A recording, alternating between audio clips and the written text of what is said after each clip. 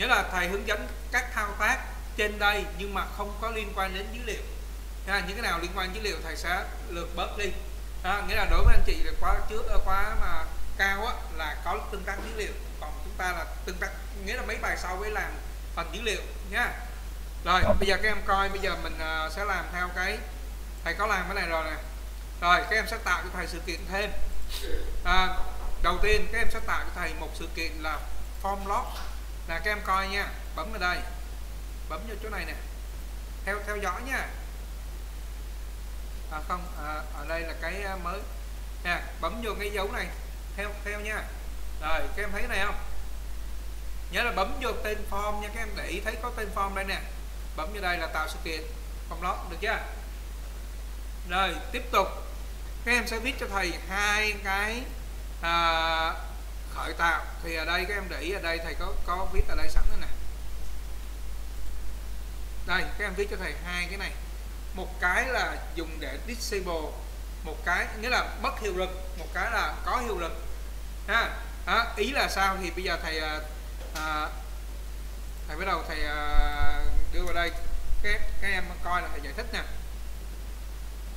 Rồi các em để ý là tt chấm điểm nghĩa là cái text box tên, tên đề tài thì các em lưu ý ở đây nè. Nè mình coi nè.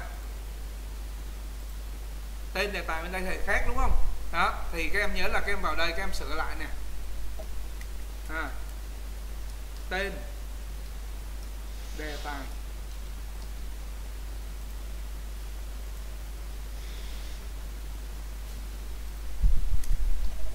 Đó rồi lúc ghi nè thì à, hồi lấy mình không dùng ghi mà mình dùng gì?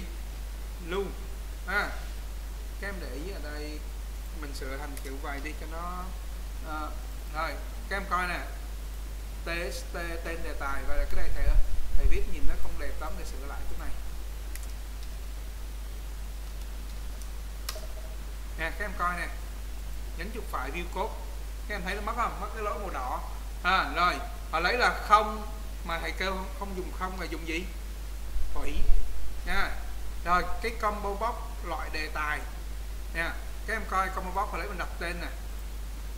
CB loại đề tài. Vậy là mình mình nhìn ra đây và là cái này CB loại đề tài viết đầy đủ luôn. Đó các em hiểu ý mấy cái chỗ này là chính là bên đây nhá. Đó, thấy chưa? Rồi, tiếp tục là tên đề tài viết đầy đủ, đúng không các em? Vậy là tí em sửa theo cái bài của các em á. Nhớ nhớ như vậy nhá rồi ghi không thầy dùng ghi mà thầy dùng lưu. Rồi cái này không phải là không mà là hủy. Đó. rồi cái này là, là loại đề tài viết đầy đủ.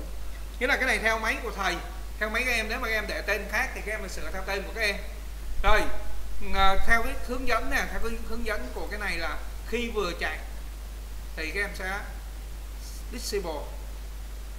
Block dữ liệu. Thì mình không có, mình không có làm cái phần liên quan đến dữ liệu, nên là mình chỉ gọi đúng cái này cho thầy thôi.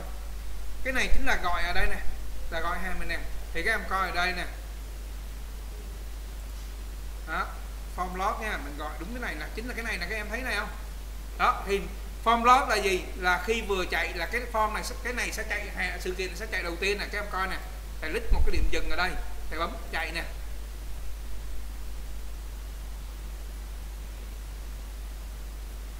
Nè các em thấy nó chạy à, màu vàng đây không?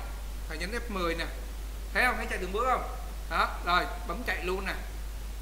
Bấm đây chạy luôn. Các em thấy nó bị mờ mấy này không? Thấy chưa? Đó thì tí rồi đó các em thấy mấy lúc lưu hủy bị mờ luôn thấy không? Đó thì các em nhìn ở đây nè. Cái nào mà bằng pho nghĩa là bị mờ các em thấy tt à, điểm không? Tt là giáo viên hướng dẫn bị mờ không? Tt là tên đề tài bị mờ không? Rồi mấy cái nút nè, thấy không? Thấy không? Thấy chưa? Đó là do cái cái này nha. Enable là cho cái hiệu lực bằng for nghĩa là bị mờ không có lít vô được nữa. Hiểu ý chưa? Được chưa? Rồi, bây giờ các em sẽ làm cho thầy, các em chụp cái phần cốt này. Và là, đây là cái phần cốt đầu tiên nha.